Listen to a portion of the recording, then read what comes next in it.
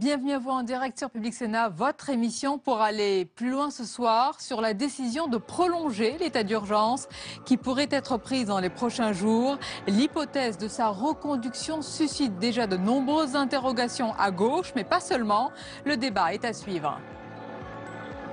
La laïcité de nouveau au cœur de l'actualité. L'opposition est frontale entre le Premier ministre, Manuel Valls, et le président de l'Observatoire de la laïcité, Jean-Louis Bianco. Le sujet est sensible à 16 mois de la présidentielle. On en parle avec de nombreux invités tout à l'heure. Enfin, l'entretien avec mon invité ce soir, elle est chroniqueuse judiciaire au Monde. Pascal Robert Diard nous plonge dans un procès hors norme, une affaire qui aura marqué les esprits, le procès Agnelé et la disparition d'Agnès Leroux, raconté dans un livre thriller, La déposition. Voilà donc pour le programme. Merci de votre fidélité. N'hésitez pas à réagir via le hashtag OVPL et tout de suite, les repères de l'actualité, c'est avec Paul Bouffard. Bonsoir à tous. À la une de l'actualité, ce soir, la prolongation de l'état d'urgence est tout à fait probable. C'est François Hollande qui l'a confié au président des assemblées parlementaires, Gérard Larcher et Claude Bartolone. Le sujet reste brûlant. Écoutez le président du Sénat à la sortie de la réunion avec le chef de l'État. Le président de la République euh, a évoqué devant nous, et d'ailleurs euh, ceci pour partie lié au délai d'adoption, euh, l'éventuelle prolongation de l'état d'urgence. Mais je rappelle que ceci doit obéir à une procédure. Le Parlement doit donc être saisi d'un texte présenté en Conseil des ministres avec l'avis préalable du Conseil d'État. Donc euh, ce sera sans doute un des sujets que le président de la République évoquera avec les partis politiques représentés au Parlement. Euh, voilà les choses, mais nous l'avons évoqué, bien sûr. L'état d'urgence qui doit expirer normalement le 26 février et il ne fait plus aujourd'hui l'unanimité. Au Sénat, le comité de suivi de cet état d'urgence auditionné Jacques Toubon, le défenseur des droits qui a constaté un certain nombre de dérives. Jordan Klein. Seul un décret du président peut mettre un terme à l'état d'urgence. En vigueur depuis le 14 novembre, au lendemain des attentats, il prendra fin le 26 février. Mais il n'est pas si évident d'en sortir quand la menace terroriste pèse si fort sur le territoire national. Mais nous ne sommes pas ni dans le flou, ni dans le vide juridique. Les choses sont parfaitement claires. Il y a la période de l'état d'urgence, et puis quand on atteint la limite qui a été fixée par le Parlement, qui est une limite qui a été fixée à trois mois, eh bien, évidemment, on sort de l'état d'urgence et on revient au droit commun. Depuis sa mise en place, c'est 3000 perquisitions administratives, 400 personnes assignées à résidence, 10 salles de prière clandestines fermées et 500 armes saisies. Auditionné ce matin, le défenseur des droits a enregistré plusieurs plaintes. Nous avons reçu 42 réclamations directement en lien avec l'état d'urgence et j'ai expliqué comment il y avait eu dans la mise en œuvre de ces mesures, la mise en œuvre pratique, je dirais des approximations ou des difficultés. Ce matin, c'est l'ONU qui a tenu à souligner l'importance de cet équilibre. Pour l'organisation internationale, les restrictions imposées par la France dans le cadre de ce régime d'exception sont excessives et disproportionnées. Les actes racistes ont bondi de 22% en 2015. C'est un triste record directement lié aux attentats de Paris. La moitié de ces agressions a été enregistrée en janvier et novembre 2015. Les détails avec Quentin Calmet. Janvier 2015, une explosion vise un restaurant à côté de la mosquée de Villefranche-sur-Saône. Un exemple de violence enregistrée l'année passée. Le nombre d'actes et de menaces visant les juifs baisse légèrement mais reste élevé, avec 806 exactions enregistrées. Sur la même année, le nombre d'actes anti-musulmans triple, avec 429 plaintes enregistrées. Enfin, les lieux de culte chrétiens, les plus nombreux sur le territoire, ne sont pas épargnés, avec 810 actes. Sur tous les bancs du Sénat, ces chiffres interpellent. Je pense que c'est un très mauvais signal et c'est surtout un signal euh, absolument calamiteux du lien citoyen, euh, du respect euh, des uns envers les autres, du, respect de la religion. La solidarité entre les cultes, c'était pourtant une des premières réponses aux attentats de Charlie Hebdo. Pour les associations, il s'agit d'un phénomène au long cours. Il y a eu un moment fort effectivement, euh, sous le coup de l'émotion bien, bien normale après les assassinats euh, à Charlie Hebdo et les assassinats antisémites euh, à l'hypercachère, mais la réalité du fond a repris le dessus ensuite. La question de la réconciliation nationale, un des enjeux politiques des prochains mois, comme avec les débats sur la déchéance de nationalité ou encore sur la place de l'islam en France. Conseil de guerre à Paris, les ministres de la Défense des sept pays les plus engagés contre Daesh étaient réunis cet après-midi. L'Américain Ashton Carter estime que les Russes sont sur une mauvaise voie stratégique en Syrie. Selon lui, euh, Moscou doit cesser de bombarder l'opposition syrienne. Le Français Jean-Yves Le Drian a lui confirmé que le groupe État islamique recule. C'est le moment, selon lui, d'accroître les efforts de la coalition. 21 morts au Pakistan. Des terroristes ont attaqué une université du nord-ouest du pays. Une branche des talibans euh, pakistanais a revendiqué euh, l'acte. Le Pakistan a nouveau frappé. Dans la capitale Karachi, les étudiants ont manifesté leur soutien aux victimes et ils ont dit stop au terrorisme. Et tout de suite, le premier débat de ce soir sur la laïcité, un sujet qui divise la gauche. On en parle, Sonia, avec vos invités.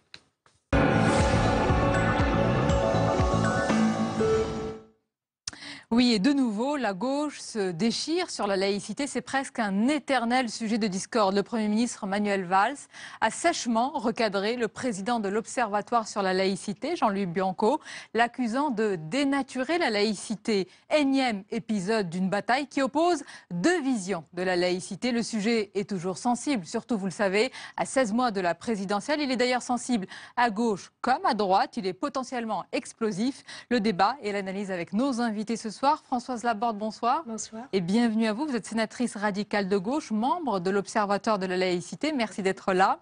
Gérard Longuet, bienvenue. Bonsoir à vous. Sénateur des Républicains, ancien ministre. Nous accompagne également Éric Fotorino, bonsoir. Bonsoir. Fondateur et directeur de l'hebdomadaire Le 1. Et Philippe Godin, bienvenue. Bonsoir, à vous. Vous êtes philosophe, directeur adjoint de l'Institut européen en sciences des religions et vous formez à la laïcité. Merci d'être là. Alors, madame, messieurs, Françoise Laborde, la laïcité, c'est le retour d'un débat, d'un sujet explosif par nature. De temps en temps, comme ça, il y a des poussées de fièvre pour que ce, ce débat, ce sujet revienne dans l'actualité. C'est le, terme poussée de fièvre, c'est tout à fait ça. C'est ce qui s'est passé récemment. Euh, on pourrait dire que c'est venu de façon anodine une émission de radio, Elisabeth Badinter, et puis un petit tweet, l'air de rien, euh, de Nicolas Cadenne.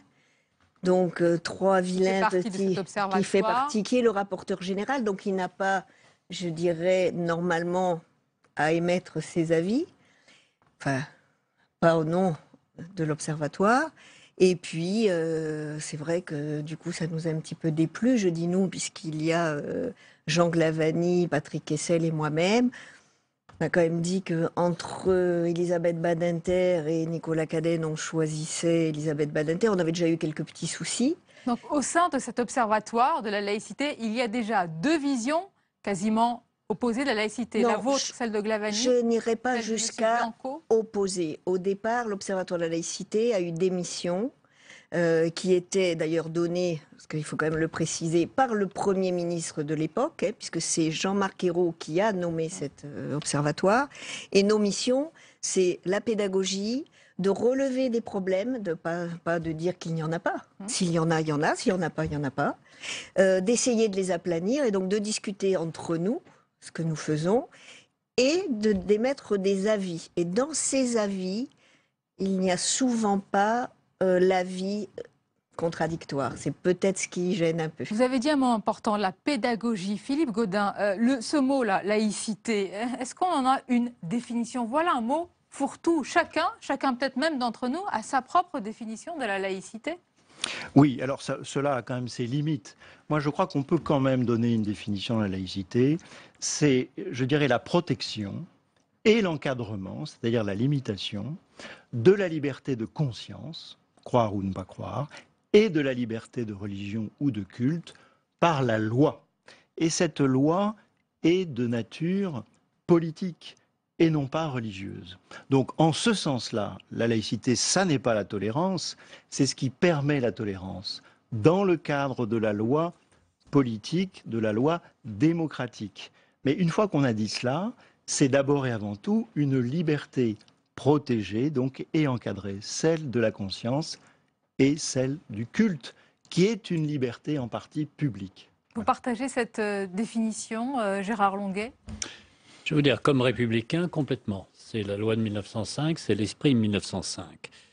Je suis français aussi, avec la longue histoire de notre pays, je dirais du, baptême de Clovis au Concordat de, 1900, enfin, de 1805 et à la loi de séparation de l'Église et l'État. C'est une très longue histoire, très conflictuelle, avec euh, en fait un aboutissement qui, est, qui était heureux, qui était qu'au fond, euh, la religion dominante euh, au moment du, de la loi de 1905 était le christianisme catholique, apostolique et romain, revenait dans les familles et revenait dans le monde interne et renonçait et renonçait au pouvoir politique. Ce qui mmh. d'ailleurs n'est pas tout à fait vrai parce qu'il y a la démocratie chrétienne et la démocratie chrétienne, comme son nom l'indique, à partir de, de l'entre-deux-guerres principalement, ça existe avant, mais disons à partir de l'entre-deux-guerres et a fortiori après 1945 avec le MRP, a réintroduit, mais sans cléricalisme. Vous avez raison. Et donc nous avons, nous avons une, nous avons, et en Europe, nous avons d'ailleurs une, une, dominante de, de, partis. Euh, le PPE fédère des, des partis qui sont euh, d'inspiration chrétienne, mais sans aucune revendication de véritable pouvoir politique. Je voudrais me retourner vers, vers M. Godin et dire, au fond, la laïcité, ça dépend aussi de la religion que l'on a en face de soi. C'est plus facile. Vous savez, les, chrétiens, je, suis de culture chrétienne. Je, sais pas si, je ne sais pas si je suis croyant. C'est une autre affaire. Je suis de. On ne va pas pouvoir résoudre ça ce soir. Je suis. Non, non, je ne pense pas. Mais je suis profondément de, culture chrétienne. Et, l'enseignement du Christ, c'est rendez à César ce qui est à César, religion compromis, et mon royaume n'est pas de ce monde. Il est d'un autre monde. Hum. Donc, normalement, il y a de l'espace pour un pouvoir politique laïque coexistant pacifiquement avec des chrétiens. C'est pas si facile avec toutes les religions. Exemple laquelle? Allons-y, hein. ça y est, on vous, on bah, Avec les bouddhistes, ça pose pas trop de problèmes. non, mais mettons les pieds dans le plat. Donc avec l'islam Avec, l'islam, c'est un peu plus compliqué, parce que l'islam, ça veut dire soumission, soumission à Dieu. Et la, la majorité des États qui se revendiquent de l'islam revendiquent, renoncent à la laïcité. Est-ce que c'est une est-ce que c'est un franc-parler ou est-ce qu'au contraire, eh bien, euh, ce sont des limites dépassées Non, mais par exemple, pour illustrer le propos de M. Longuet, si vous prenez le kémalisme turc, c'est un, un État laïque, mais qui euh, contrôle les, mosquées, qui contrôle, bien sûr. Donc, si vous voulez bien, il est vrai euh, qu'avec l'islam, il peut y avoir une sorte de, confusion entre qu'est-ce qui est laïque et, qu'est-ce qui est le religieux? C'est l'islam politique, c'est l'idée que l'islam est une religion politique qui a vocation euh, sinon à gouverner, mais en tout cas, regardez en Iran comment ça se passe. Mais en Iran, ce sont des religieux. À la France, je vois bien. Je, connais l'islam politique bien sûr, ailleurs. Voilà. dans notre société française. Euh, mais dans notre société, vous, vous demandiez tout à l'heure à M. Godin la définition. Ce qui est intéressant, c'est que le mot laïque n'apparaît pas avant, il n'est pas dans le littré de 1874. C'est un mot récent. Laïque, c'est quelqu'un qui n'est pas clérical, qui n'appartient pas au clergé. Mais il peut être chrétien et laïque. Oui, mais simplement, on dit laïque, on ne dit pas la laïcité. Dans notre Constitution, c'est un adjectif. Et dans l'entretien que Régis Debray nous a donné cette semaine dans le A, il explique bien, il dit euh, la laïcité, ça ne vibre pas, ça ne chante pas. Il n'y a pas d'un Bella Ciao, il n'y a pas une internationale de la laïcité. C'est un cadre, mais ce n'est pas le tableau. Et dans le tableau, il faut mettre des valeurs. Il faut mettre des valeurs de la République, de la nation, etc. Et donc, dans cet espace euh, qui, est là, effectivement, comme la laïcité n'a pas été définie, et ce sont des rapports de force historiques, on l'a historicisé, et, comme euh, vous disiez tout à l'heure, il faut l'illustrer. La lettre de Jules Ferry aux instituteurs, 1874, il dit euh, soyons le plus près du réel, donnons des exemples, pas d'idées générales, il faut l'expliquer concrètement. Je voudrais revenir. Oui. On ne faisons oui, absolument. François et on va revenir aussi à l'actualité. Est-ce qu'il a raison, Manuel Valls, de vouloir en finir avec une certaine idée de la laïcité à gauche. Apparemment, il veut vraiment en finir avec la laïcité de Jean-Louis Bianco, héritier de François Mitterrand, et plutôt pencher vers la laïcité d'Elisabeth Badinter. Alors, en finir avec euh, une ou deux ou l'autre des laïcités, je vais dire que je laisse ces querelles euh, entre socialistes. Et c'est vrai qu'il y a sûrement en interne deux courants très forts. Il faut le dire, il faut le reconnaître. Et je pense que les uns et les autres doivent arrêter de s'argouter sur leurs euh, convictions, mais on a besoin de convictions pour avancer. Mais je pense qu'au sein des socialistes, il y a... Alors, est-ce qu'il y a deux laïcités ou est-ce qu'il y a deux conceptions? C'est-à-dire ce que disait Elisabeth Badinter par rapport aux accommodements que l'on fait en période électorale, mais je suis au regret de vous dire qu'on a des périodes électorales tous les ans. 2016, j'espérais enfin respirer, et on se retrouve avec euh, cet euh, incident, je vais dire, qui tourne, mais en même temps qui m'arrange, parce que justement, 2016 n'étant pas une année électorale, j'espère qu'on va se dire des choses. Eh, Est-ce qu'on peut préciser ce qu'a dit Elisabeth Badinter? Peut-être que tous les téléspectateurs Oui, n'ont oui, pas choisi. Donc, c'était une interview sur France Inter où elle a de nouveau appelé la gauche à prendre le sujet de la laïcité à bras-le-corps, à sortir d'une forme de déni idéologique. Et elle indique que la gauche est en réalité tétanisée à l'idée d'être taxée de stigmatisation d'une population d'origine immigrée. Voilà, c'est clair, Philippe Godin. Est-ce que, est-ce Oui. que il y a cette laïcité, j'allais dire, intransigeante, dure, carrée, et puis une autre Écoutez, madame, je vais vous dire. Autant je suis très heureux d'être ici pour débattre avec vous, mais je dois dire que je suis un petit peu en colère. Un peu en colère car j'ai le sentiment que cela fait 30 ans qu'on n'avance pas vraiment sur le sujet et qu'on retombe systématiquement dans les mêmes ornières. Il me semble, c'est mon point de vue, quand j'ai pu travailler avec eux, que aussi bien Jean-Louis Bianco que Nicolas Cadenne ont abordé cette question avec calme, ce qui est absolument nécessaire et qui n'est pas toujours facile.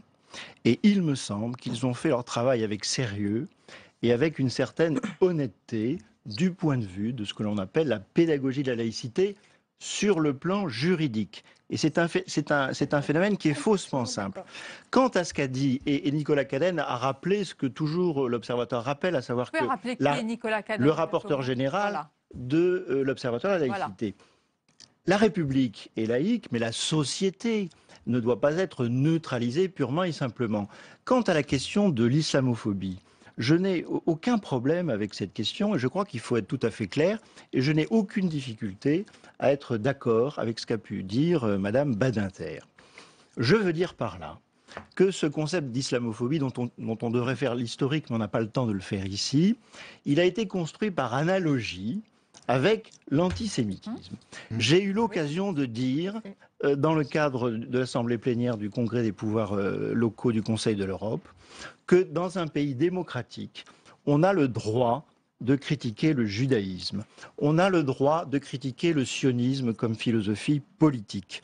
On a le droit de critiquer la politique de l'État d'Israël. Mais l'antisémitisme est absolument insupportable. C'est une forme de racisme.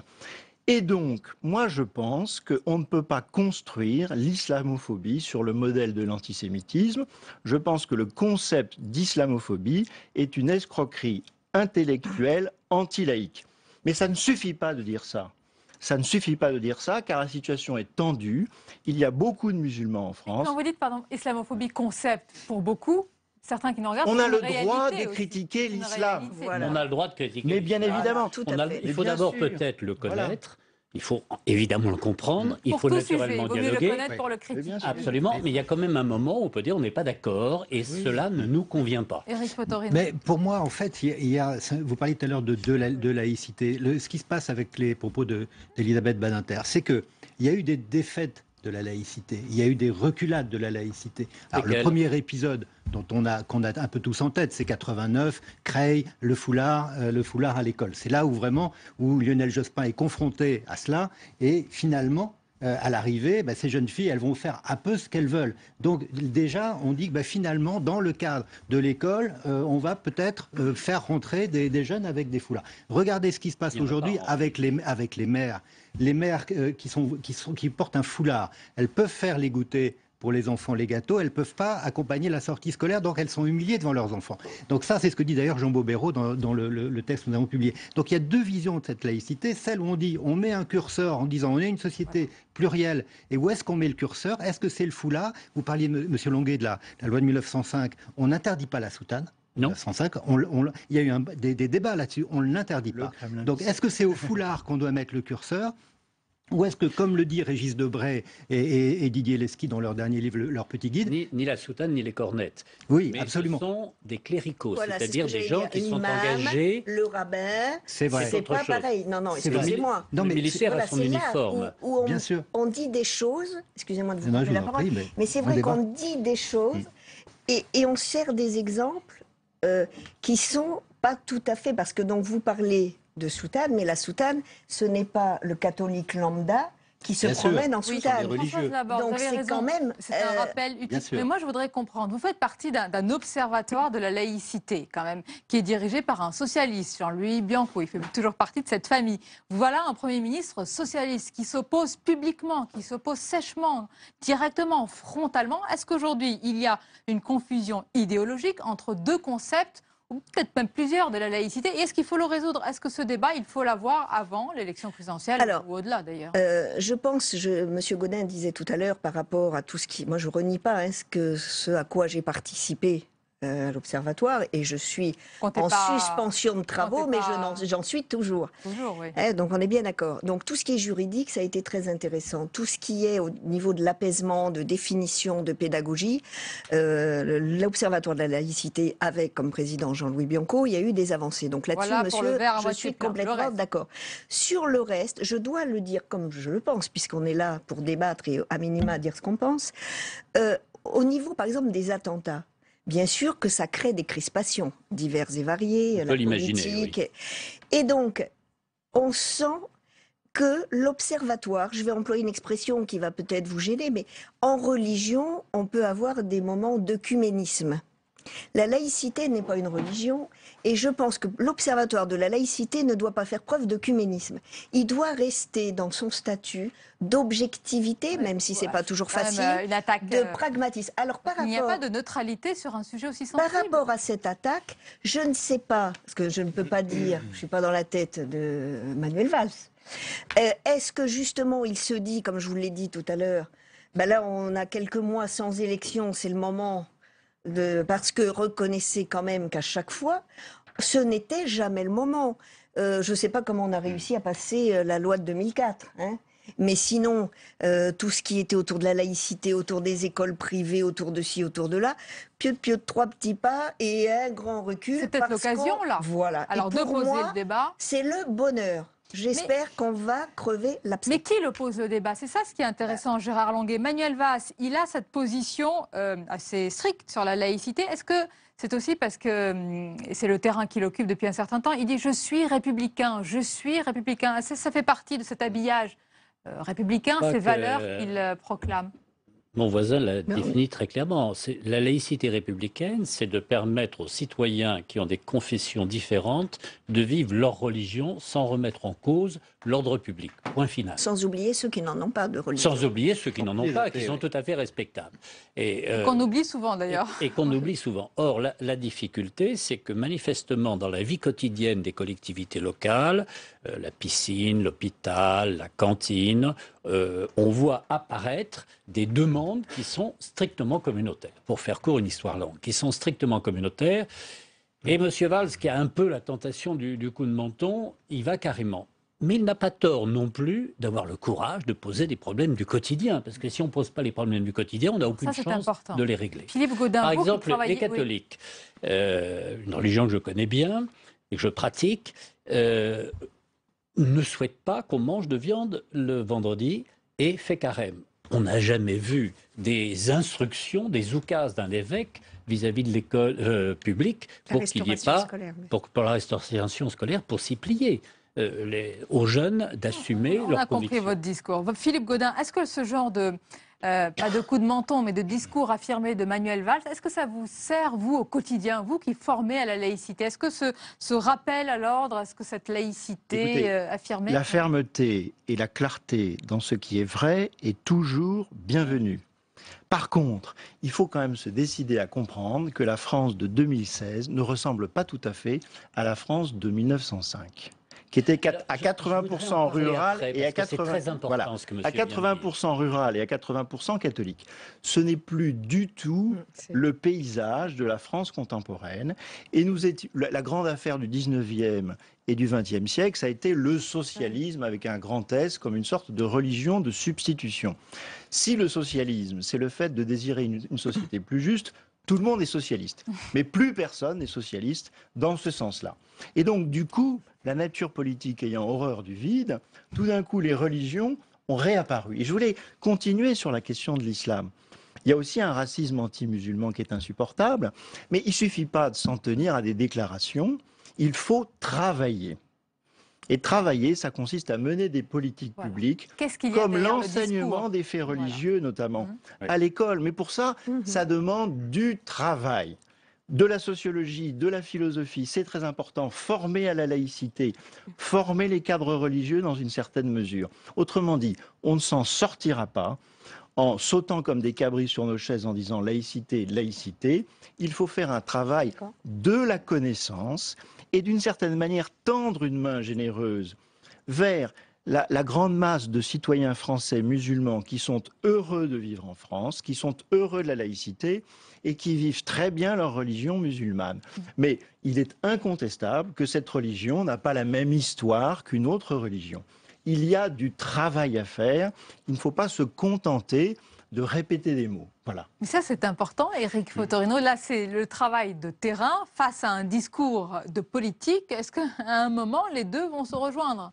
Bah, On voit bien qu'effectivement, euh, il y a une sorte, il y a encore un, un fossé euh, important parce que ce que vous venez de dire, c'est le, c'est pas l'idée générale, c'est le concret. C'est qu'est-ce qu'on fait dans telle situation donnée? Qu'est-ce qu'on fait le dimanche? Est-ce qu'on fait sonner les cloches? Est-ce que les cloches doivent rythmer le, le temps c'est, intéressant de savoir. Est-ce que les départements concordataires doivent rester? Est-ce qu'il doit y avoir dans des départements un clergé euh, payé par l'État? Donc c'est voilà, c'est ces questions auxquelles il faut. Vous vous dites non, mais je pense que quand on lit le, le de Breleski, eux ils disent oui. Alors évidemment, il- et avec quelques arguments. Je pense qu'il ne faut pas que la laïcité devienne une religion.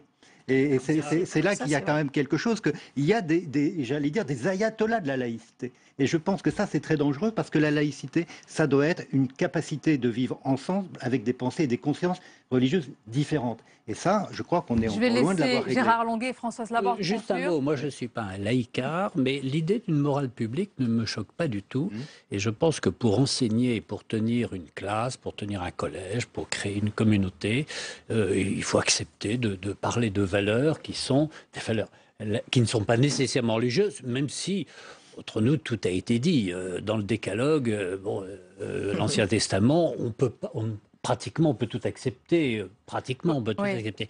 Non, le problème de l'islam est un petit peu différent puisque vous avez évoqué les, ré- les- la France n'est plus celle de 1905. Je suis complètement d'accord avec vous. on l'a compris. Mais la difficulté, Pour conclure, Monsieur Longuet, je voudrais laisser la parole à Madame Laborde. La, la difficulté, c'est que nous avons un héritage et qu'ils ont un héritage. Et c'est la coexistence des héritages. ils, ils sont français également. Les immigrés. Ils sont les immigrés qui sont français. Et c'est pour ça que j'ai été réticent au bureau politique des Républicains. Je me suis abstenu sur l'idée de la déchéance pour les seuls binationaux. Parce qu'en vé- en vérité, ça ne visait que les immigrés. Si on est républicain, la citoyenneté française est la même pour tout le monde. Ben, et à ce moment-là, on ne revient pas en arrière sur le passé. Or, ce que je crains, et je me tais, c'est qu'on soit français avec un poids trop lourd de passé trop différent. Françoise Laborde, pour conclure, est-ce que ce débat, il faut l'ouvrir? Parce qu'attention, il rejoint une autre notion qui est celle de l'identité. On Voilà. a connu des débats très agités sur ce thème, donc est-ce qu'il faut le faire de manière apaisée? On l'espère tous. Alors, il faut le faire de manière apaisée parce que vous savez très bien qu'à liberté, vous ne mettez aucun adjectif, à égalité, vous ne mettez aucun adjectif, et je vois pas pourquoi on en met tout le temps à laïcité. Et ça a été le tort. Je suis désolée, laïcité euh, euh, positive, et le ci et le là, et, et on arrive à n'importe quoi. Laïcité, c'est laïcité, c'est 1905, liberté, égalité, fraternité. Voilà. Et Ça- existait avant, Et le débat ça. est Eh, ouvert. non, mais voilà. Avant 1905. Et, et je crois que c'est important pour tous que ces valeurs savez, républicaines fête de soient la défendues. Fédération le 14 juillet. Monsieur Longuet. Juste un détail, le laisserai 14 juillet, c'est la fête de la après, Fédération. en dehors du Et la fête de la Fédération, c'est le roi, l'évêque et Voilà. en pointillé la République. On a fait toute l'histoire. Je vous remercie. Restez avec nous. non, ils sont venus Merci après, beaucoup, messieurs. La suite de votre émission et l'actualité, c'est aussi bien en ce moment ce qui se passe à Davos et c'est l'édito Echo ce soir.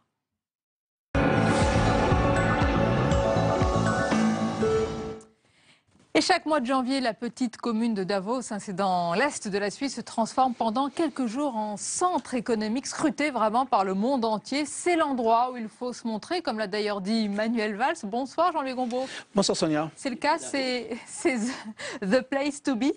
The place to be c'est-à-dire c'est la place où il faut être pour être vu. C'est pas, c'est pas exactement, on n'est pas couché, mais ça ressemble un petit peu à ça quand même. Pour être vu par qui? Ben, Par les 2500 personnes qui vont assister à ce colloque de, de Davos, qui viennent chaque année. Là-dedans, il y a 50 chefs d'État ou de gouvernement, 500 journalistes ou experts divers. C'est la preuve quand même qu'on est parmi les grands, et c'est plutôt satisfaisant. Même un, un, journaliste qui est accrédité pour aller à Davos, il dit je fais partie des grands. Et donc, M. Valls peut dire. Nous, on a préféré vous garder. il y a aussi une question financière, j'en parlais tout de suite. Donc, ah il, y a, il y a également donc, et donc Monsieur, Monsieur Valls, bah, il dit je fais partie des grands puisque je suis ici. C'est assez satisfaisant quand on est très bas dans les sondages, parce qu'il ne faut pas oublier justement que cette affaire est un gros business quand même, parce que pour assister à ce que va dire Monsieur Valls tout à l'heure et les autres chefs d'État, enfin le chef d'État qui va venir et les autres chefs de gouvernement, c'est 150 000 dollars. Donc c'est quand même une somme importante, sans compter le prix du transport et l'hôtel. Donc, euh, et On est, mieux ici. tout à fait. Ce que je veux dire, c'est que quand même, qu'est-ce que M. Valls va pouvoir dire pour 150 000 dollars? Donc il va s'exprimer devant ces gens-là, il va leur parler des difficultés économiques, des problèmes, pardon? Lui, il ne paye pas. Ah non, lui, il ne paye pas, et, il ne gagne pas d'argent sur cette affaire, mais il participe quand même à une sorte de business dans cette affaire. Et donc, qu'est-ce qu'il va leur dire? Il va dire l'Europe a des difficultés, les problèmes des migrants, la quatrième révolution technologique. Et je me demande ce que ces gens vont apprendre véritablement s'ils ne sont pas avertis de ces choses. Ils ne méritent pas d'être les PDG des plus grandes sociétés multinationales. En réalité, M. Valls va s'exprimer pour l'intérieur, c'est-à-dire va dire je suis à Davos. Ça montre bien que la France n'a rien contre la mondialisation, les multinationales. La France est vraiment un pays pro-business et c'est ça le message qu'il va vouloir transmettre. Mais au-delà de Manuel Valls, Jean-Luc Gombeau, est-ce que les participants ont des raisons de s'inquiéter compte tenu du contexte économique, de tous les défis que vous avez évoqués? Alors, je pense qu'il y a des raisons surtout de s'inquiéter parce qu'on ne comprend pas très bien ce qui se passe. Parce que si vous regardez les chiffres, la croissance mondiale, le FMI a sorti ses statistiques hier, 3%, la croissance européenne 1,5%, l'année dernière c'était 1%, la France c'est 1,5%, l'Allemagne c'est 2%. Tout ça n'est pas très brillant, mais tout ça n'est pas particulièrement mauvais. Les États-Unis sont à 2,5%, etc. Le problème c'est qu'il se passe des choses dont on n'arrive pas à évaluer quelles pourraient être les conséquences. Par exemple, depuis une quinzaine d'années, la Chine est à 8%, et voilà qu'on nous dit qu'elle va être à 4%, quel impact de passer de 8 à 4 pour le monde entier de la Chine? Par exemple, les pays dits émergents, qui faisaient 70% de la croissance mondiale depuis maintenant 7-8 ans, ils vont aller pratiquement, ils sont près de 1, 2, 3, 4%. La Russie, dans une situation dramatique. Quelles vont être les conséquences On ne sait pas. On n'arrive pas à tester, à jauger quelle va être l'importance de ces choses-là. Et donc, de ce point de vue-là, ces gens sont inquiets. Alors, ils se réunissent à Davos. Bah, c'est une station qui est à 1500 mètres d'altitude, donc euh, il y a la possibilité peut-être de voir mieux devant, de savoir si euh, l'horizon est plus clair qu'on ne, le craint. Merci, merci Jean-Luc Gombeau. Il est 22h30 passé. Tout de suite, les repères de l'actualité avec Paul Bouffard.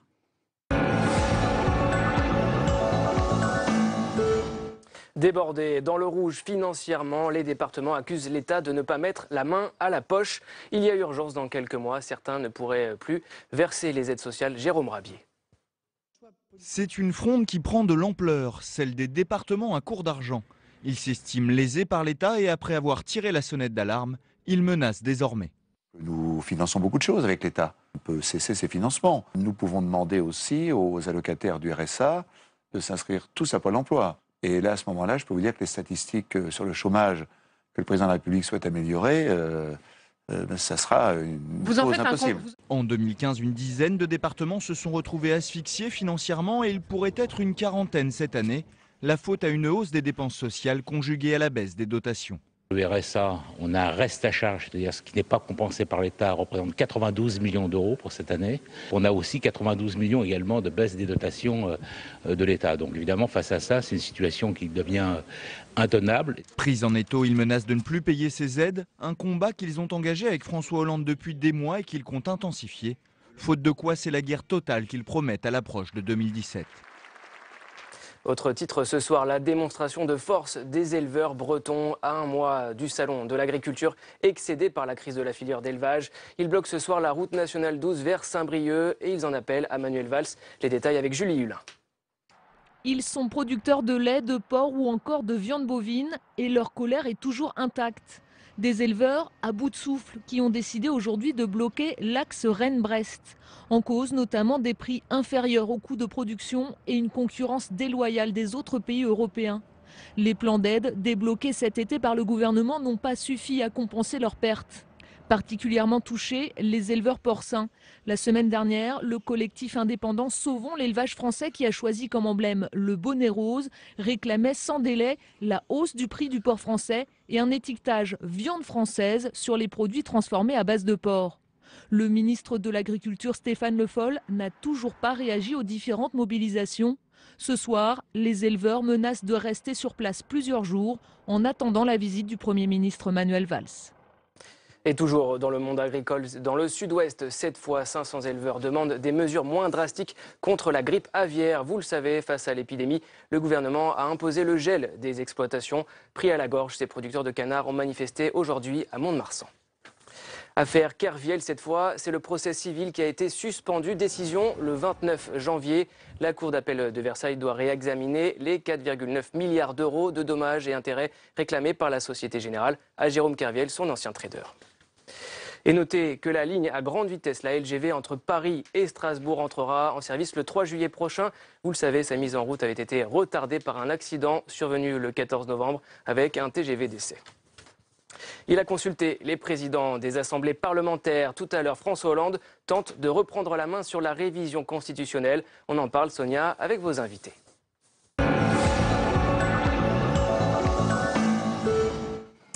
Oui, merci Paul. Le calendrier se précise donc autour de la réforme constitutionnelle et cela crée des crispations et des tensions. Alors le projet sera examiné à partir du 5 février, mais tout se prépare déjà cette semaine. François Hollande va rencontrer et consulter les présidents de groupe, dont Nicolas Sarkozy. Ce projet de révision constitutionnelle comprend notamment le sujet sensible de la déchéance de nationalité. Alors quelle est la situation? À gauche et à droite On en parle avec nos invités dans quelques instants. Mais d'abord, retour sur cette actualité euh, concernant l'état d'urgence qui pourrait être prolongé. On voit tout cela avec Julie Hulin. Faut-il prolonger ou non l'état d'urgence? La question est sensible. Décrété après les attentats du 13 novembre à Paris, l'état d'urgence n'est censé ne durer que 12 jours. Il a été étendu via le vote du Parlement jusqu'au 26 février pour faire face à la menace terroriste. Aujourd'hui, François Hollande envisagerait une nouvelle prolongation. Le pays doit être uni sur ces sujets-là, parce que ceux qui veulent attaquer la République, ceux qui veulent faire peur, ceux qui veulent tuer, euh, ceux qui ont fait de la violence et du sang euh, leur identité, ça n'est pas la nôtre. Et par conséquent, ils attendent de voir si le pays est fragilisé ou pas. Si Jean-Jacques Urvoas, président de la commission parlementaire chargée du contrôle de l'état d'urgence, a émis des doutes sur la prolongation, face à la menace, le consensus semble encore d'actualité. Les menaces sont toujours très fortes, voire grandissantes, et donc euh, je pense qu'en effet, les conditions peuvent être réunies aujourd'hui pour une prolongation de l'état d'urgence. Pourtant, la Ligue des droits de l'homme vient de saisir le Conseil d'État pour mettre fin totalement ou en partie aux mesures contraignantes de l'état d'urgence qui portent, selon elle, une atteinte grave aux libertés publiques. Une demande qui devrait être examinée le 26 janvier prochain. Et nos invités ce soir, Carole Barjon, bonsoir. Bienvenue à vous, rédactrice en chef adjointe sur la politique intérieure à l'Obs. Avec nous également Christine Claire, bienvenue, bonsoir, essayiste, journaliste politique, auteur de très nombreux ouvrages. Alain Offray nous accompagne, bonsoir. Bonsoir. Journaliste politique à Libération et le directeur du Point, Étienne Gernel. Bonsoir. Étienne Gernel, justement, un premier tour de table euh, sur l'éventualité d'une prolongation de l'état d'urgence. Le président de la République a évoqué l'hypothèse en recevant tout à l'heure le président des deux assemblées. Il a dit que la décision sera prise dans les prochains jours. Cela provoque déjà des tensions et des crispations. Voilà encore un nouveau sujet de tension bah, si, ça si, ça pouvait nous libérer, ces tensions-là, de celles sur la déchéance de nationalité, qu'on parle enfin d'autre chose, donc si on pouvait remplacer une polémique inutile par une autre encore plus inutile, bah, au moins on serait distrait un peu, ça nous changerait. Donc évidemment, on s'en fiche complètement qui euh, prolonge ou pas l'état d'urgence. Il faut le faire un petit peu, c'est toujours difficile, il faut toujours redescendre en température après un moment comme ça, mais il faut en sortir un jour. Voilà. Donc est-ce qu'ils vont le faire là ou le coup d'après On verra, mais ça change rien. Vous êtes d'accord, Alain Frère Voilà encore une polémique inutile. On dit que la menace est permanente. Est-ce que vraiment il faut qu'on se divise aussi sur ce sujet? Elle est inutile au sens où, où ça, on, ça protège sans doute pas d'une attaque terroriste, mais ce que, ce que je pense, c'est que, d'ailleurs, un petit peu comme la déchéance, ça, c'est supposé avoir une, une vertu psychologique Mmh. et ou symbolique, et que donc euh, sa prolongation, ce serait une manière de, de- de signifier à la population française que euh, on a toujours le souci de la protéger, et peut-être aussi d'ailleurs de se dire que si jamais une attaque arrivait, il serait à l'abri au moins du reproche de il fallait pas lever l'état d'urgence. C'est sans doute ça d'ailleurs, parce qu'il y a eu des plaintes, euh, on a vu hein, après les attaques de, de Charlie comme après celles euh, du Bataclan, il y a eu des plaintes de famille, des choses comme ça, donc on peut imaginer qu'il y a aussi ça dans l'esprit du gouvernement. Oui, c'est une sorte de principe de précaution. Exactement. Voilà. Mmh. D'ailleurs, c'est très compliqué. On imagine pour un responsable politique de, de dire voilà, stop, c'est à cette date-là que s'arrête l'état d'urgence dans cette situation. On peut le comprendre, cela sû- sûrement on va provoquer des débats, mais justement, Carole Barjon, on a l'impression que ces sujets, la déchéance de la nationalité, l'état d'urgence, ont monopolisé le débat politique public et que ce n'est pas du tout la, ni la volonté ni ce que recherchent les Français en ce moment. Bah, bon, en même temps, c'est pas complètement anormal. hein, euh, ce qui, s'est passé euh, le 13 novembre quand même bien euh, sûr. voilà, terrible. Donc c'est quand même euh, assez normal qu'il y ait des mesures d'exception pendant un moment. Euh, et c'est pas anormal non plus, même, si je suis, même si je suis assez d'accord avec ce qu'a dit Étienne Gernel, mais euh, que, que- que le débat sur la déchéance de nationalité, quand même, euh, suscite voilà, euh, une grosse polémique parce qu'on est, on est quand même sur les principes. Et euh, donc, souvent, on discute du plan pour l'emploi ou de mesures concrètes, etc. Là, on est sur des principes et des, principes qui doivent être inscrits dans la Constitution. Donc, que, ça génère un certain nombre de débats, ça me paraît normal. Ce qui est peut-être moins normal, c'est que peut-être François Hollande aurait dû réfléchir quelques minutes de plus avant de faire cette proposition devant le Congrès, parce que du coup, euh, comme l'a dit, je crois, Manuel Valls l'autre jour, il est tenu par son serment. Et en fait, aujourd'hui, euh, tout ce euh, de quoi on discute, c'est de savoir un peu quelle porte de sortie il va trouver. Exactement. C'est ce, ce dont on va parler Il y en a d'ailleurs. une qui est évidente, hein, c'est l'histoire, la, la- la déchéance nationale. On y parle, c'est un. L'indignité nationale. Non, non, non, Non, non. c'est le non. dernier, c'est le dernier. Ah pardon, Le dernier- pardon, j'ai raté un épisode. La dernière des farces et attrapes, c'est d'inventer quelque chose qui s'appelle la déchéance nationale. Ah, pardon. Qui n'est donc pas la déchéance de nationalité, et qui ressemble à une, une sorte d'indignité. En fait, on ne sait pas trop ce qu'il y a dedans. Mais vous une avez raison. très, très hollandaise. Là, on parle des principes, mais Christine Claire, quand même, je reviens sur ce- déchéance de nationalité, indignité euh, nationale. Je ne trouve pas tout ça futile. Vous en avez peut-être assez parce que vous dirigez un grand journal et vous en parlez toute la journée, mais je ne crois pas que les, Français trouvent ça futile. D'abord, on a parlé là d'atteinte aux libertés. Est-ce que vraiment l'état d'urgence, c'est une atteinte aux libertés plus grande que de risquer des attentats Euh, Bon, Ah, je, je ne crois Non, pas. Euh, on parle de. Alors évidemment, les juristes disent déchéance nationale, ça ne va pas. La gauche et une partie de la droite, moi j'ai des amis avocats qui sont absolument contre. On se Oui. demande comment euh, Hollande a pu aller se fourrer dans ce guépier, Absolument. comme s'il n'avait pas déjà assez d'ennuis comme ça. Et vraiment, lui qui essayait de compenser un peu des petits pas euh, vers plus de libéralisme économique et social en, en donnant à la gauche des réformes de société, genre mariage pour tous, etc. On voyait pas vraiment pourquoi il allait aller reprendre une proposition de, qui avait fait tellement scandale dans la bouche de Nicolas Sarkozy en 2010. Ça va être amusant d'ailleurs leur entretien même, vendredi. hein. Pas Oui, tout bon. À fait. euh, Non, c'était pour- pour les gens- refuser l'accès à la nationalité. Non, c'était pour les gens qui avaient tué des policiers. C'était Oui, ça, policiers et l'histoire de gendarmes. D'accord. Mais après, l'origine de l'idée, mais après, quand même, Éric Besson avait voulu l'étendre. On allait, enfin, on allait vers ça quand même. hein. Euh, mais néanmoins, ça, ça- c'est quand même une, une réaction des Français contre ceux qui veulent nous tuer. Alors, elle est inadaptée. Les Français sont peut-être ne connaissent peut-être pas suffisamment leurs droits. Ça, c'est sûr. Il y a peut-être pas assez de pédagogie, mais ça exprime quand même quelque chose de très profond.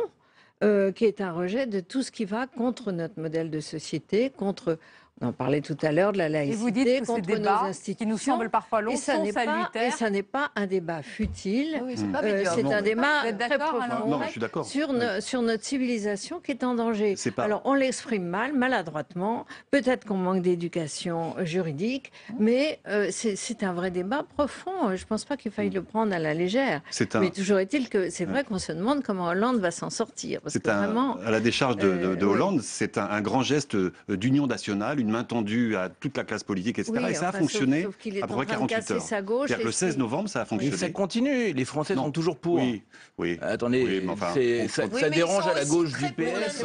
C'est pas, pas ça qui va lui amener le vote de droite au, président. Ce que je veux dire, c'est que le 16 euh, novembre, ça très bien fonctionné. Donc on peut, on peut lui laisser ça Parce à François Hollande. Ce jour-là, ce jour-là, euh, lorsqu'il a prononcé ce discours, y compris avec cette disposition, euh, tout le monde s'est levé, tout le monde a applaudi, etc. Et, depuis, les choses oui, mais l'annonce atteignait son objectif ce jour-là. Le problème, c'est qu'il n'avait pas vu que c'était une ah, annonce qui ne fonctionnait que 48 heures. C'est pas vraiment ce qu'on attend d'un président de la République de parler de son du Congrès. C'est ça toute la question. Est-ce que ça va revenir en boomerang Même Cécile Duflo a approuvé à l'époque. Christine Clark, est-ce que ce débat sur la déchéance de nationalité. Et sur ce projet de révision constitutionnelle, il peut lui revenir en boomerang parce qu'aujourd'hui, au sein de la gauche, le débat est très confus. Il y a une palette de positions, une palette de propositions. Qu'est-ce qui va en sortir, selon vous? Euh, c'est, difficile à savoir. Hein. Je ne suis pas fakir.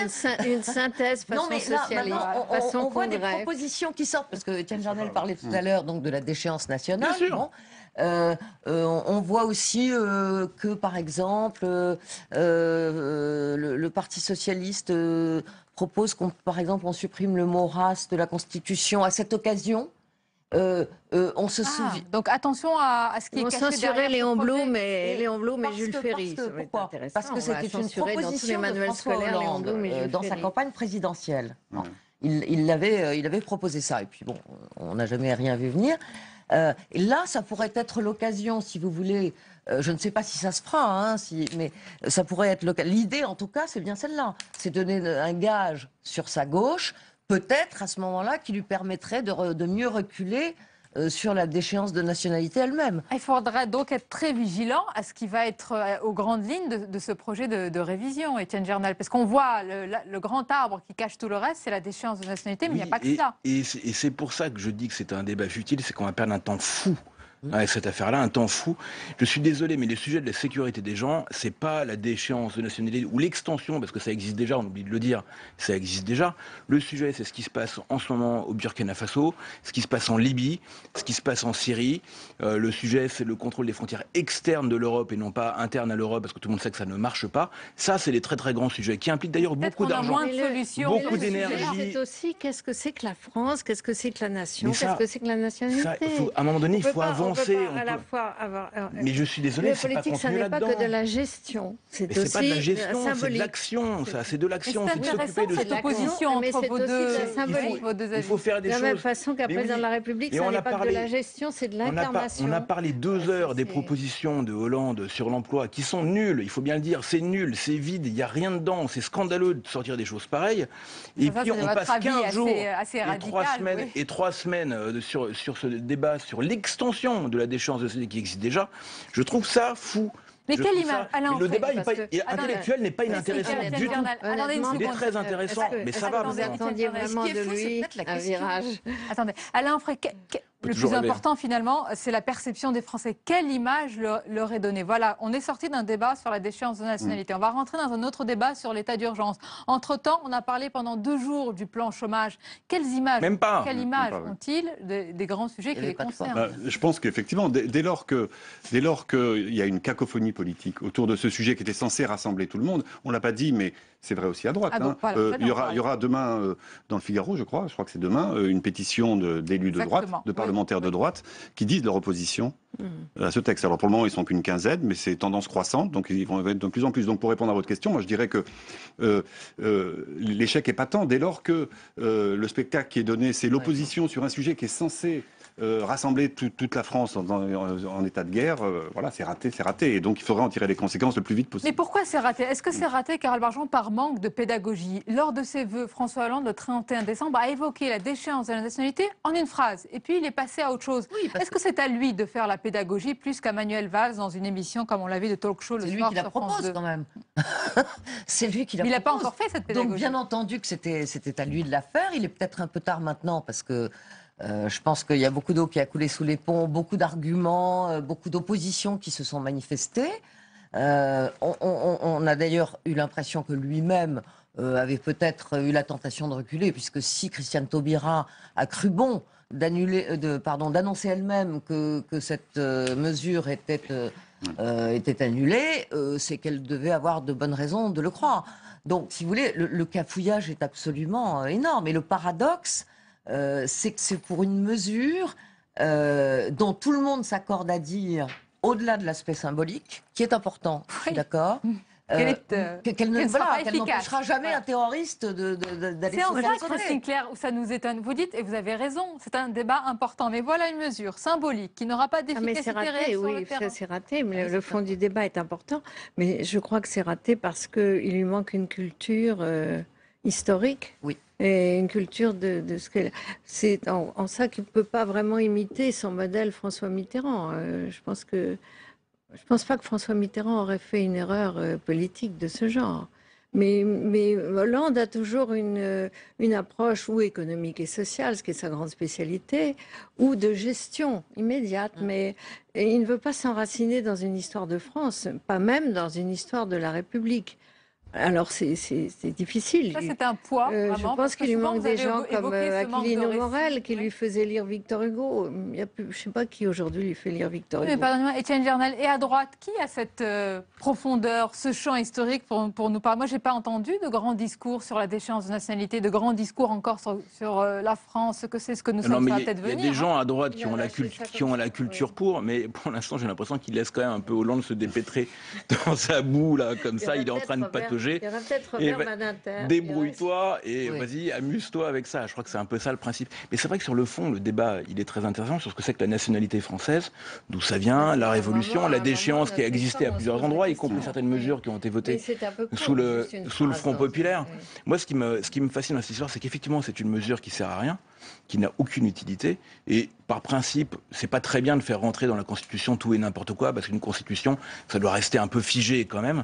Mais j'ai été très, très frappé de, le- de l'invraisemblable euh, escalade des mots des gens qui étaient opposés à ça, qui, euh, qui ont parlé de Vichy, ce qui est absolument ridicule et consternant. On peut être pour, on peut être contre. Sur le fond, elle est plutôt mal fagotée, cette mesure. Voilà, elle est mal fagotée. Mais elle est, elle est expliquée que c'est la fin de la République, mais c'était consternant.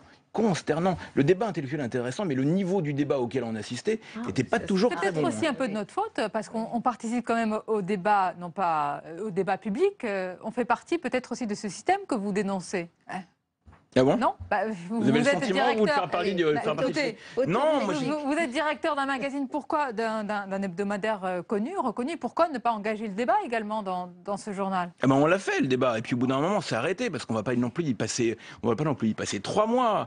Enfin, on Mais a- si, tant, tant qu'il y a de la pédagogie à faire, que les gens ne comprennent pas. euh, euh, Mais comment ça? C'est-à-dire tant qu'ils n'ont pas changé d'avis, les gens ils sont pour. On l'a- Il y a des tas de gens, la plupart des médias, euh, pas le point, mais la plupart des médias, beaucoup de médias, Le Monde, bah, Libération, ont été très très violents contre et les Français sont toujours pour. Au bout d'un moment, voilà, c'est euh, c'est fait, c'est fait. On peut toujours en continuer à discuter, à discuter pendant des années sur ce sujet. mais on ne touche pas Parce qu'il y, a- oui. il y a de quoi, effectivement, il y a un débat très intéressant Mais a- sur le fond, sur ce que c'est qu'un national. Et puis, on, oublie d'ailleurs le débat qui était euh, avant les binationaux, qui est celui des naturalisés, parce que jusqu'à présent, la loi ne touchait que les naturalisés. Les naturalisés, personne ne s'offusquait du fait qu'ils étaient traités. Si on prend la même grille d'analyse comme de des, seconde comme des, zone. comme Oui, des citoyens de seconde zone. Mais Et oui, pourquoi est-ce que ça ne choquait personne Exactement, alors que c'était dans le droit. C'est déjà dans le droit. l'article 25 du. Code civil. Donc c'est invraisemblable. En fait, on, Vous le- voyez mais- que vous y prenez goût finalement. ce j'adore débat. ce débat. Et ça fait trois semaines que je suis dessus. Je voudrais qu'on change de film. Voilà. D'ailleurs, il y a, il y a l'expérience de toute proportion gardée, l'expérience de 2010-2011 aurait pu nous servir de leçon parce que lorsque c'est adopté en première lecture euh, pour les assassins de policiers uniquement pour les euh, binationaux euh, naturalisés, euh, bon bah le Nicolas Sarkozy sous la pression de Jean-Luc Borloo finit par, l'abandonner en seconde lecture et on voit des sarkozystes à l'époque nous expliquer que tout ça c'est symbolique, ça n'a pas grand intérêt au fond, on peut passer ça par pertes et profits. Ils l'ont- évacué comme ça. pour eux c'était terminé cette histoire. Je suis sûr qu'ils étaient très demandeurs que ça revienne. Enfin ils le disaient dans leur discours, mais voilà.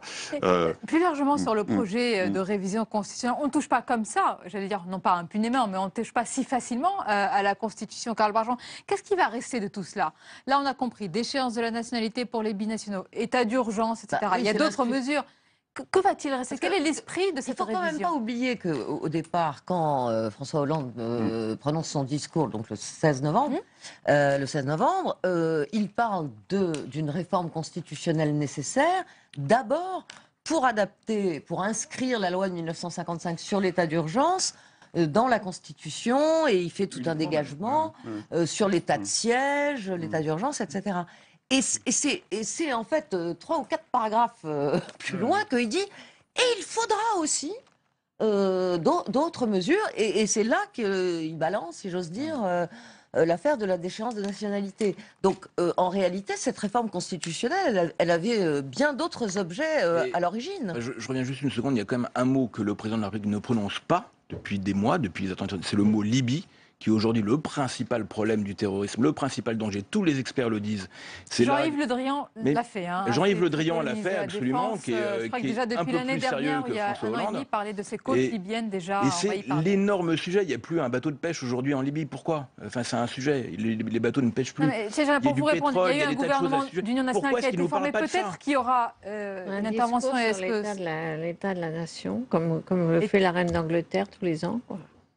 Mais ce serait Oui, bien. oui, Mais en fait, c'est ce qu'il a voulu faire, parce que ce qui est très frappant dans cette histoire de Versailles, c'est que finalement, après, après les attentats de Charlie et de l'hypercachère, c'est Valls qui avait fait ce discours, qui avait été très applaudi à l'époque Mhm. à l'Assemblée nationale. Et là, bah, c'est Hollande qui a repris la main. Il a fait un discours au Congrès. Au Congrès, c'est lui, parce qu'il n'a pas le droit de se présenter devant Et il va l'Assemblée reprendre la nationale. main parce qu'il va consulter euh, ces jours-ci, Christine Claire, et c'est peut-être là l'occasion pour lui de revenir sur ce que vous dites, d'avoir cette aurait- pédagogie on euh, aurait nécessaire. vraiment envie d'écrire l'entretien euh, entre Hollande et Sarkozy. Ça, Vous auriez envie d'être la petite Ah oui, souris pour voir ce oui, qui va oui, se passer entre l'ancien président et l'actuel Imaginez, Et- oui. et plus largement, Mais je pense que ça, n'a- ça, ça dure très peu de temps, ce- recevoir les gens, très bien. Mais deux, jours après, on a oublié. Ça, ça fait tellement partie de la fonction, du, du, du manège Ce qu'on n'oubliera pas, c'est les euh, débats oui. parlementaires qui vont avoir lieu sur ce sujet. Est-ce que ça va être l'occasion de voir Tout toutes même, les divisions Cette rencontre, pardon, cette rencontre, elle était, Ah, elle, elle n'était pas cette inscrite. rencontre, hein.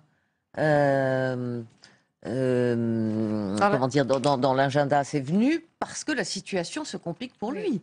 Donc, euh, si vous voulez, c'est quand même. Pour qui, lui? Parce qu'elle est Pardon, compliquée pour, pour, les François deux. Hollande, Ouais. pour François Hollande, qui reçoivent les chefs de parti euh, vendredi. C'est- bien pour, euh, j'imagine, essayer peut-être de trouver. Et peut-être pour conclure, parce que une question un peu plus, euh, peut-être pas politicienne, mais politique.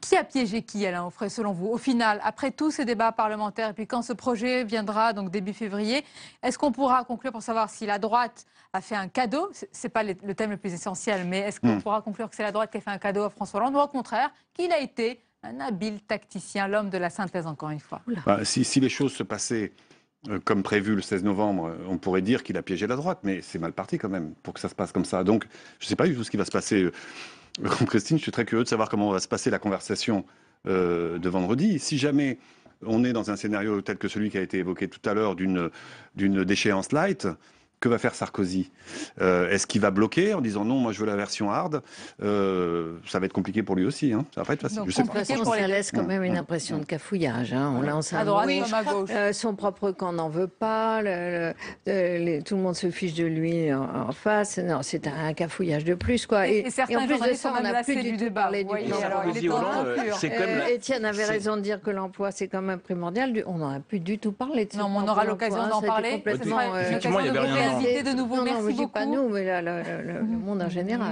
quoi. Merci à vous.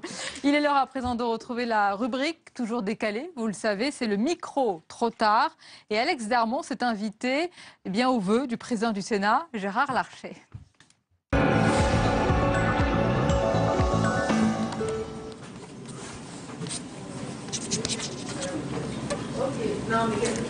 Voilà, allez.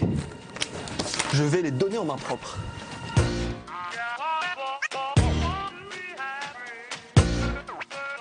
Ce soir, le micro trop tard est donc invité ici au Sénat pour les vœux du président Gérard Larcher.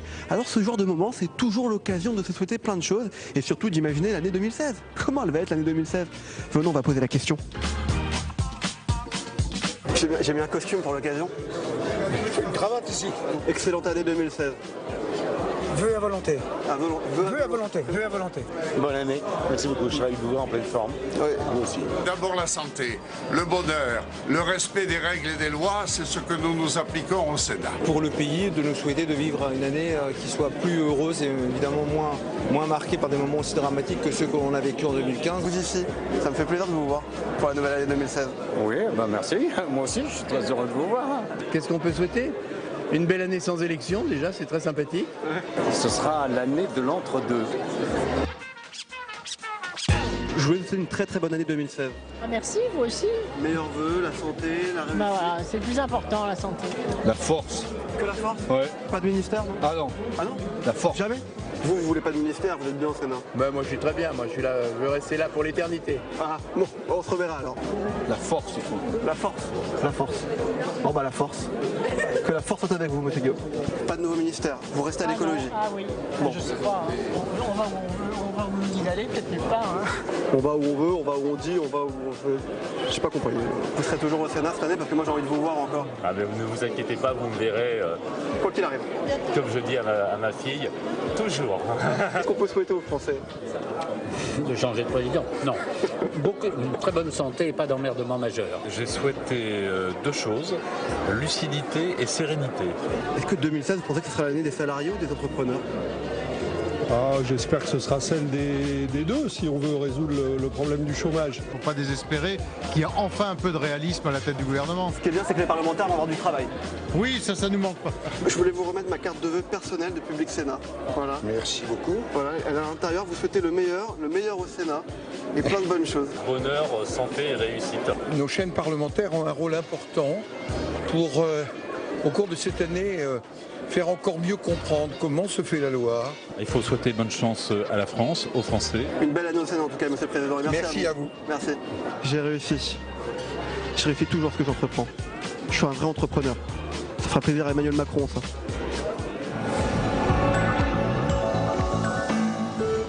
Il est 23h, on fait un nouveau point sur l'actualité avec Paul Bouffard.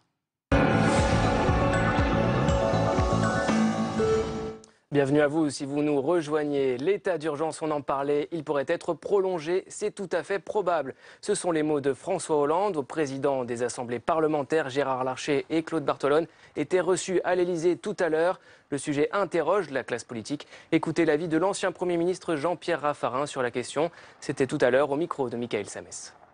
Les menaces sont toujours très fortes, voire grandissantes, et donc euh, je pense qu'en effet, les conditions peuvent être réunies aujourd'hui pour une prolongation de l'état d'urgence. La question de la réforme de la Constitution est une question.